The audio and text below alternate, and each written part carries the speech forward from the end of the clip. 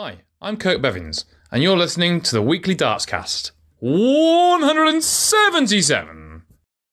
Hello and welcome to a bonus episode of the Weekly Dartscast sponsored by Dartwolf. I'm Alex Moss and alongside me my co-host, darts statistician Burton DeWitt. How are you doing? I'm doing well. Just enjoyed a nice uh, Premier League final. Uh, how are you doing, Alex? I'm doing good, thank you. Yeah, we're recording this just moments after Michael Van Gerwen beat Joe Cullen 11 10 in what we were just talking about off air. He's got to be leading the contender for match of the year so far this year. Wins his title. It's a, a sixth Premier League title for Michael Van Gerwen and equals Phil Taylor's record. And although we're not going to see him at the World Cup this week, he's having surgery. What does this win do for Michael Van Gerwen and the darting landscape? Well, it definitely shows that he might not be back to where he was at his best. And I, I've probably a broken record saying that this year, but it shows that he's closer than he has been. And there were some moments across the two matches, obviously when he was facing a match dart in the final, uh, where he was vulnerable.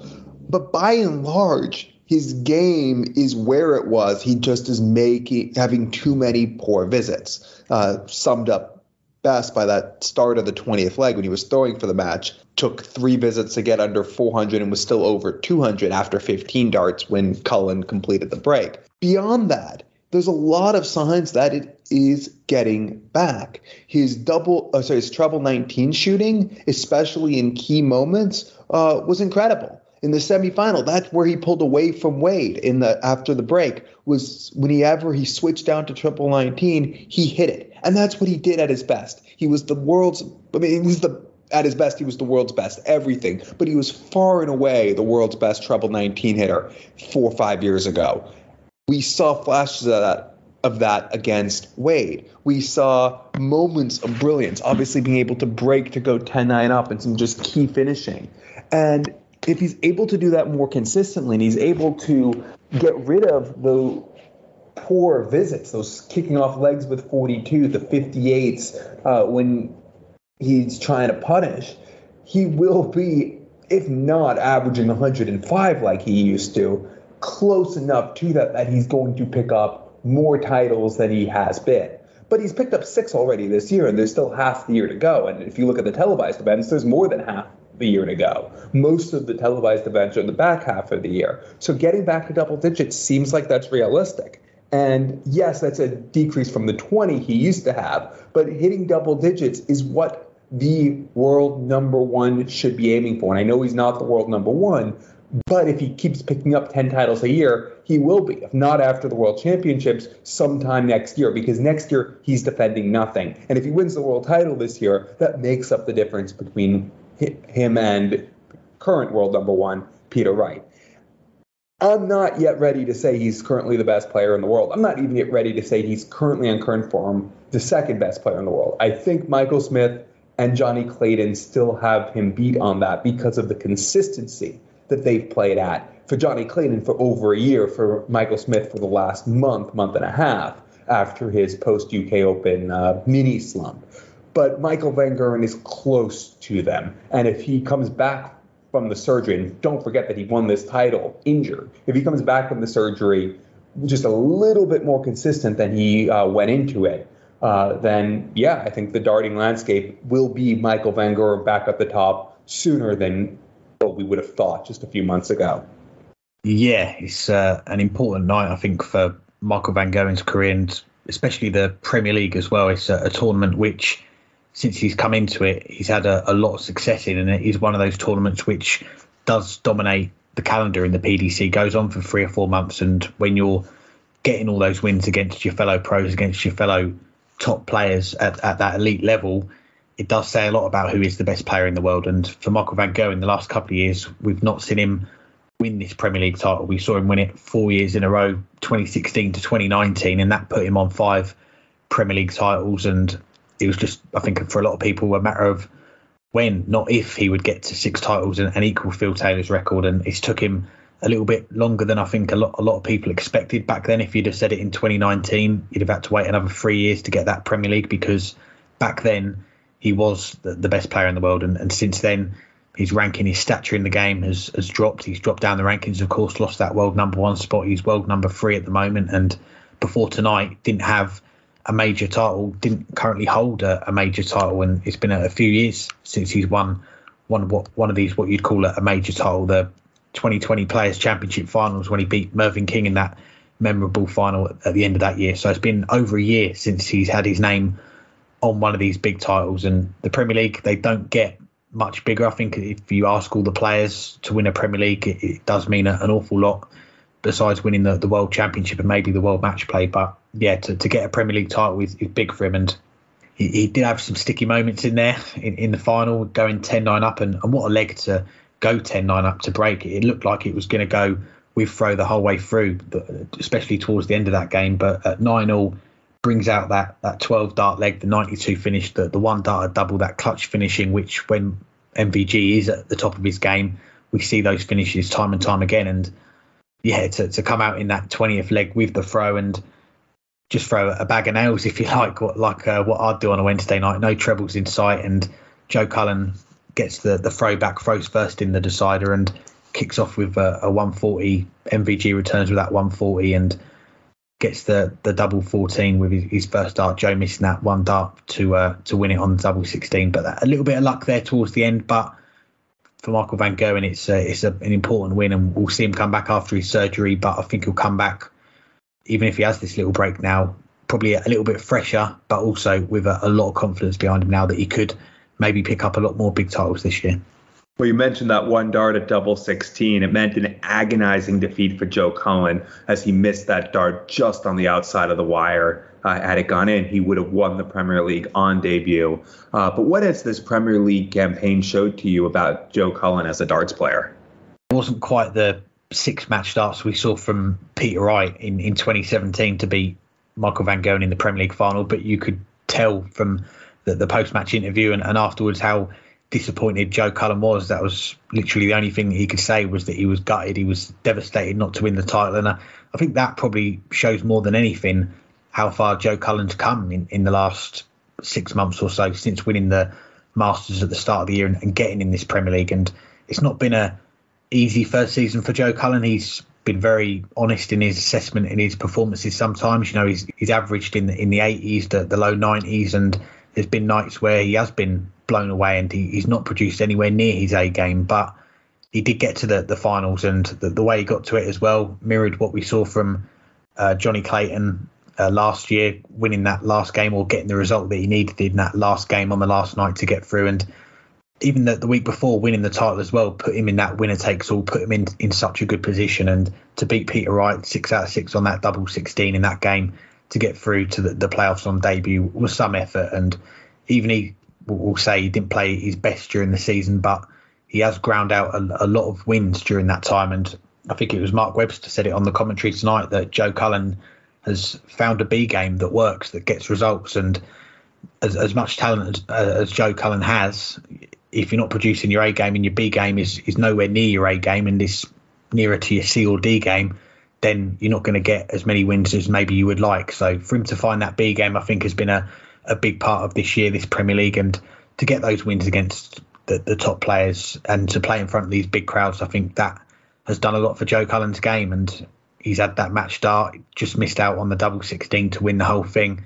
Even though he's missed out on the title tonight, and it's probably going to take him a, a little bit of getting over to miss out on winning such a big title, I think he will be when he looks back on it a little bit later, I think he will say, you know what, I've done pretty well for my first season in the Premier League, and it probably won't be the last. I think we will see him plenty of times in this Premier League now. He's shown that he can produce the goods. He is competitive in, in this field, in this elite field. And yeah, I, I think we're going to see him, like a lot of the other players now, battle for these majors for the rest of the year. Ooh, I, I mean, I hope we see him again, but I, I, I, don't know. It's so hard to predict, and form is so fickle. Uh, from what we saw tonight, uh, and what we saw throughout most of the Premier League campaign, he deserves to be in the to be in consideration to get back in again. And if he plays like he did at the Masters and he plays like he did on finals night at uh, I was about to say the O2. It wasn't at the O2 this year, at the Mercedes Benz Arena in Berlin. Uh, he will be back in it again next year or pretty soon because that level will make televised finals and will sometimes win it. And well, he was a dart away and a well thrown dart away from winning this title. And what we saw from him on finals night is what I want to talk more about because we've talked, especially the last couple of weeks, uh, but over the course of the year, we have talked about Joe Cullen's Premier League campaign a bit. And we heard from Christopher Kemp, who brought in statistically. Um, the negatives, but the positives, I think, outweigh the negatives. And that's his ability to find ways to win matches, even when he's not playing well. And that's what you commented on his B game or even his C game um, sometimes, able to win with that. And he did not used to have that. Last year, I think we really saw an increase um, in the level of his B game and in his ability to grind out wins when he wasn't on his best. And that's what put him in position to have the confidence that he needed to cross the line in the Masters. And obviously, he showcased it all throughout this Premier League campaign. That's why he got into the playoffs. And he's become a really good grinder. What we didn't see this Premier League is what I kept saying what I thought we would, and we almost saw. We definitely saw it. I think the second half of the match against Johnny Clayton, but not the full match. We did not see a full match of Joe Cullen at his best, and even still, he came within a millimeter of winning the title. Joe Cullen has so much upside that we still haven't seen from him. We've seen when we we've seen him learn how to win matches, and that's great. But we haven't seen him really dominate like he can and like he has before at times. Obviously, what separates the greatest players of all time from someone like what we've seen from Joe Cullen before, it's not just, you know, being able to dominate, but able to dominate for an entire tournament. That's obviously the next step. But we want to I want to see Joe Cullen be able to bring that A game more often. Winning with a B game is great, and it might win him a title. It's won James Wade, God knows how many titles over the course of his career.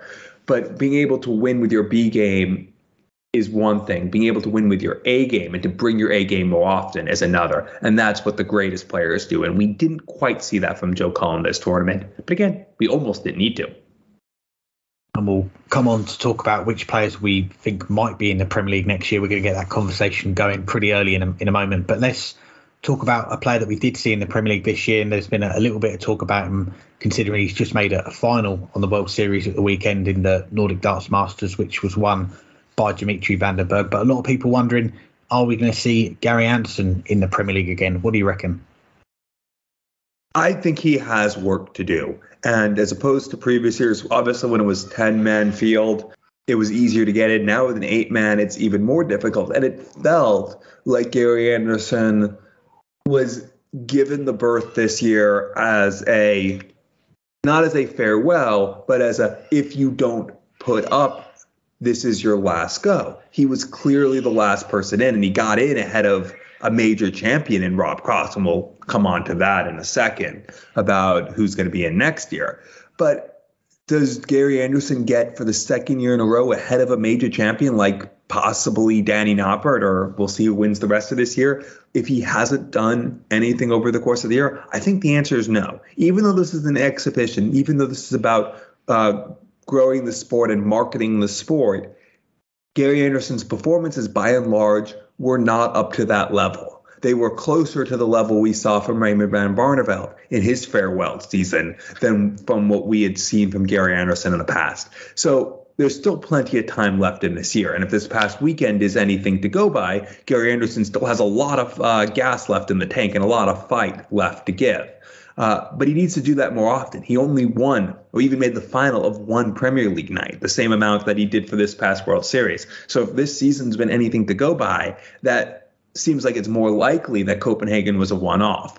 But we'll see. If Gary Anderson wins the match play, or if he wins, uh, I was about to say the European Championship, we know he won't be in that. But if he wins the Grand Slam, assuming he gets into it, or something else over the course of the remaining six months on television, or makes a couple finals, and yeah, I think he can play himself back in. But right now, I think he's out. Right now, I think there are at least eight people who the PDC, not I, but the PDC would put in ahead of him. And that's what matters. And as long as there's eight people that the PDC will put in ahead of him, then no, he's not in. And as of right now, I think that's the case.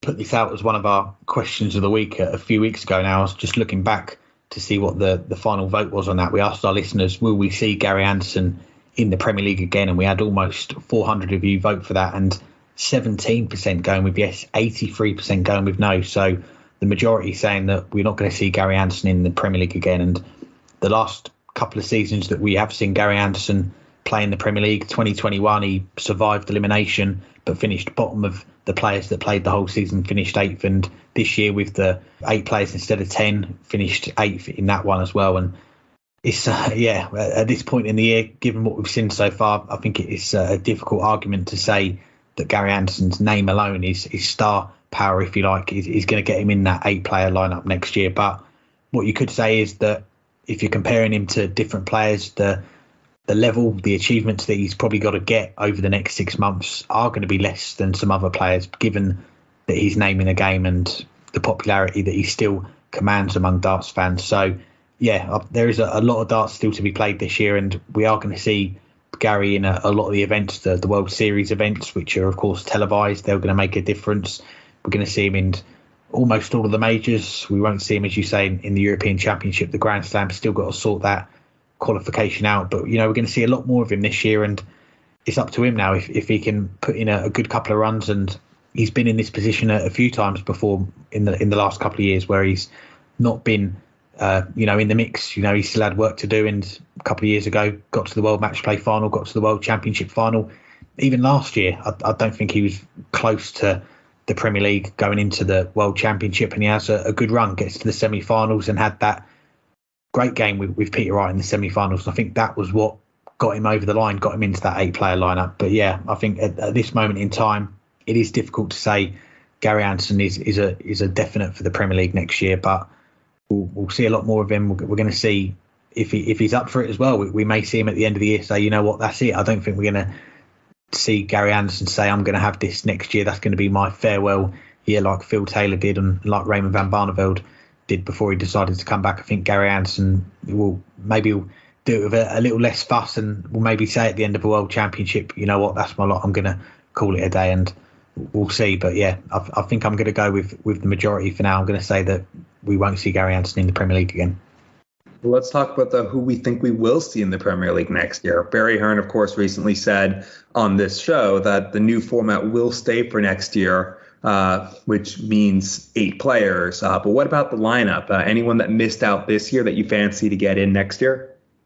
Before play started in the playoffs, I was looking at the post World Championship order of merit and looking at players that are going to be high up in the rankings. Of course, there's a, a lot of big events still to play, so that list is going to change before then. But at the moment, you've got Peter Wright, number one, Gerwyn Price, Michael Smith, Michael Van Gerwen, James Wade, Rob Cross, Johnny Clayton, Luke Humphries, and I'd probably say it won't be far off that at, at, this moment in time. And I know you mentioned him, Danny Noppert, the UK Open champion.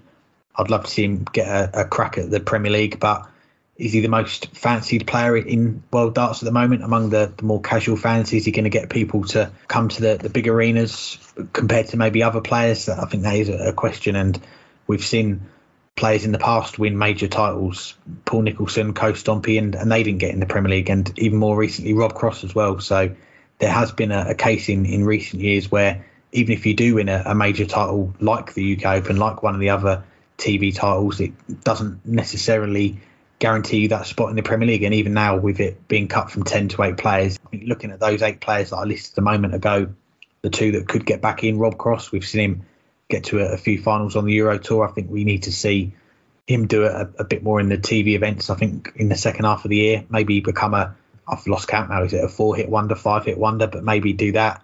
Luke Humphries, I think he is the name to watch at the moment. We've seen him win a couple of Euro Tours and we've seen him in the past have some deep runs on TV, so we, we know he can, we know he's capable of, of doing those deep runs, and I think it'd be a brave man to back against him making quarterfinals, semi-finals in, in TV events in, in the second half of the year. So I think Luke Humphries is, is a name to watch. Joe Cullen after tonight, don't know if I'd have kept him in after making the playoffs, but I think getting that close to winning the title, if he can dust himself down and, and have a good second half of the year, I think he's right in the mix as well. So for me, those are the the, the, names I'm looking out for. Maybe some other names in there as well. We, have just seen Dimitri Van den Bergh win his first World Series title, and he was probably one of the most unlucky people not to get in that lineup this year. So I, I think he's in in with a shout as well. And he's I think there was a, stat doing the rounds from Darts Oracle about how well Dimitri's been playing on TV for the last 12 months. So if he can keep that up and maybe add another title or two, I think he's going to be well in the mix as well. So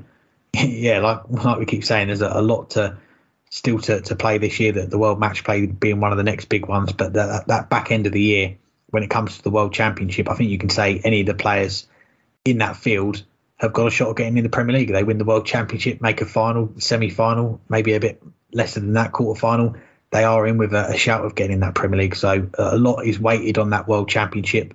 But for a lot of these players, there is a, a lot of chances now win one of those major titles, and it will put you right in contention of getting in that Premier League. I more or less agree with everything you said, and I'll, I'll take it from a slightly different uh, starting point. But I think obviously Michael Van Gerwen is now in. Um, obviously, a lot this show. I noticed that, but I think there's been a lot of obvious things that came out of tonight. And one of them is Michael Van Gerwen as Premier League champion will be in. Peter Wright, Gerwyn Price, Michael Smith will be in as well. Even if they're no longer in the top four at the end of the year, well, Peter Wright will certainly be in the top four at the end of the year. I think that Gerwyn Price and Michael Smith, based on what we've seen from them this year, will be. But even if they're not, um, I think they will be in the Premier League next year because they're two of the leading faces. And Michael Smith right now is the best player in the world. Uh, but that leaves four spots that are still to play for, and there's a lot to go on, a lot still to go. Right now, I would go in a slightly different uh, direction. I would, I think James Wade would be left out, even though he made the semifinals, and I think the next four in the rankings uh, would get in as based on the end of season rankings. You mentioned three of them, Cross, Clayton, and Humphries, but I think Noppert as UK Open champion will get in, and I'll explain why. Even though you look back, Rob Cross was left out as a major champion, and left out as a very recent major champion. The European Championship is in October, November. The UK Open is in February, March. So that's a big gap in the year. But if you remember for Rob Cross, Rob Cross was coming off of a Premier League campaign in which he was relegated, which was one year after another Premier League campaign, which he was relegated. So, two years in a row, he had finished ninth in the Premier League. And while he's still one of the leading players in world darts, it he was probably the next person out because we've seen him play the Premier League so much recently and he hadn't done well in it. Danny Noppert's never been given a ch- chance before. So I think as of right now, Danny Noppert is in, and that's where I separate Rob Cross getting left out last year from where Danny Noppert is right now. It doesn't mean Danny Noppert will still be in. There's still a lot of events to go and only a few spots. If we keep seeing people win majors who haven't been in, maybe Noppert will be left out.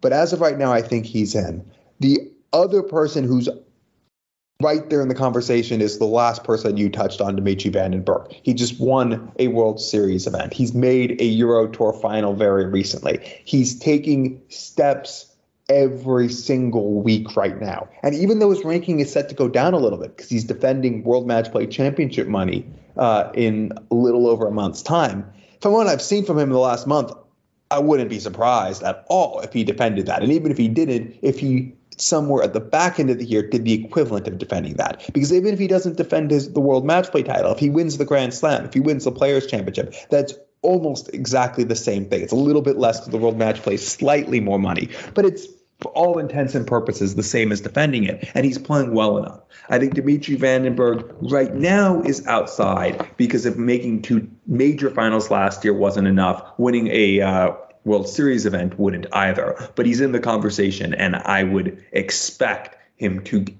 get louder in that conversation the way he's playing.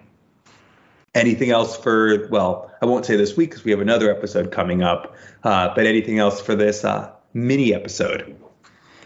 Just to say, as always, uh, thanks to everyone for listening. There's so much darts this week that, as you mentioned, we are going to be back again with another episode before the World Cup, which starts on Thursday. We've got four, possibly five guests coming on, so it's going to be a, busy one to get you ready for the World Cup. So, yeah, not much time, as, as you would say, to hang tight, but there's plenty of darts on this week for you to enjoy. So, enjoy the darts.